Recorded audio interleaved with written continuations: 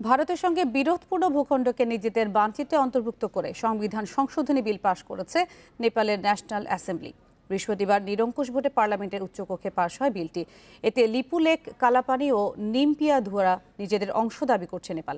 লাদাখে চীন, ভারত উত্তেজনার মধ্যে এই পদক্ষেপ নিল নেপাল। গত আট মার্চ চীনের তিব্বত অঞ্চলে সীমান্তবর্তী লিপুলেক পাসের সঙ্গে উত্তরাখণ্ড রাজ্যকে সংযোগকারী আশি কিলোমিটার দীর্ঘ একটি সড়ক উদ্বোধন করে ভারত। এরপর গত মে মাসে সংশোধিত নতুন মানচিত্র প্রকাশ করে নেপাল।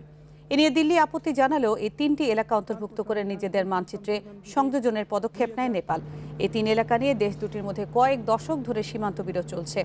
উচ্চকক্ষে পাশের পর এখন রাষ্ট্রপতি অনুমোদনের মাধ্যমে আইনে পরিণত হবে। এর আগে শনিবার পার্লামেন্টে নিম্নকক্ষে পাশ হয় বিলটি।